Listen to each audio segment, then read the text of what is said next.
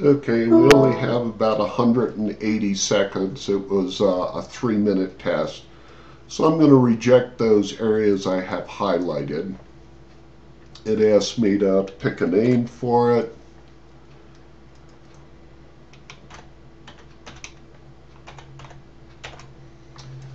Uh, we'll okay that.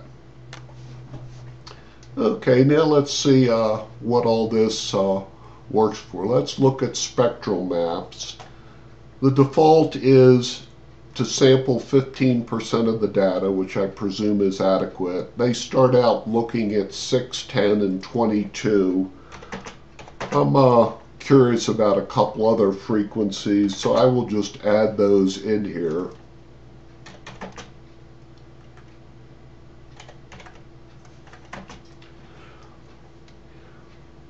And we OK that.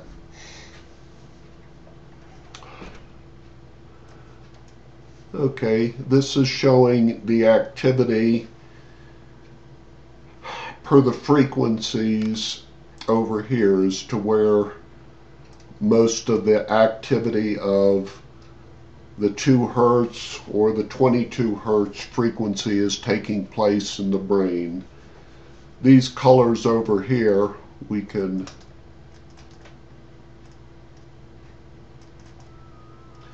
blow this up and uh, make it a little larger. Apparently when I hit just one of the lines it goes right to that line. Uh, I think though I'm not sure what the correlation is. I think red is AF3 or 1 but not sure of the exact color order of all those. You can also take and uh, click one of these to uh, make this larger, blow this up to see it in more detail. I uh, like to save these, so I'm going to go save as. It tries to save it as a MATLAB figure. Uh, not being too familiar, not having standalone MATLAB, I'm going to suggest JPG.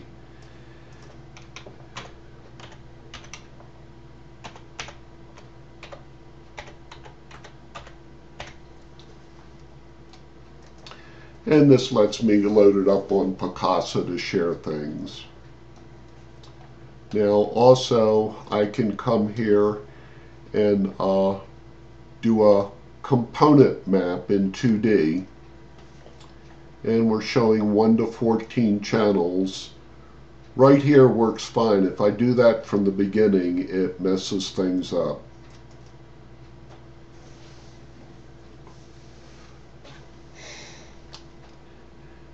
And here are the 14 components. I'm assuming they're relating this to the location of the sensors and how the various intensity goes there, but I don't fully understand this other than these are some neat looking pictures and obviously have a lot to understand here.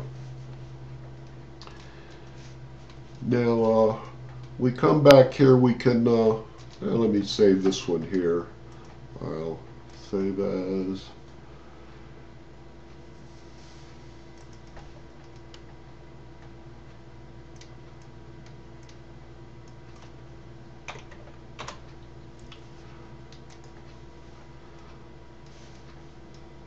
Okay, now let's plot a, a 3D map. It says I need to do a spline file. I kind of went and after all these calculations, I found out you number you end up with these eight strings of numbers. They can be pasted in here, and you can go straight from there. Uh, to manually get these located, you can do it this way. And then you go warp montage, auto select, okay, okay, okay. Okay, and then it's put these same numbers here that I had up here. So you can approach that either way you like. We're still looking at channels 1 through 14.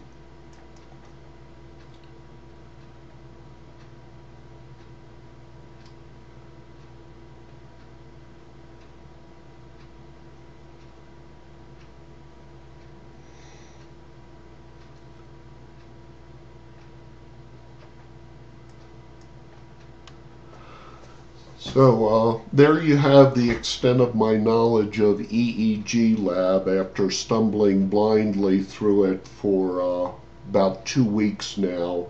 Some of the hurdles I've overcome.